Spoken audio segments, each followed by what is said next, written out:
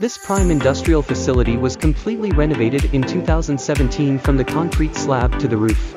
You can own the highest available quality roof, electrical, LED lighting, new HVAC, waterproofing, and reinforced concrete slab.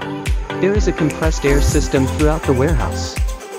The facility includes seven overhead doors with two loading docks. The property has an employee parking and storage lot surrounded by a new chain link fence with two automated gates.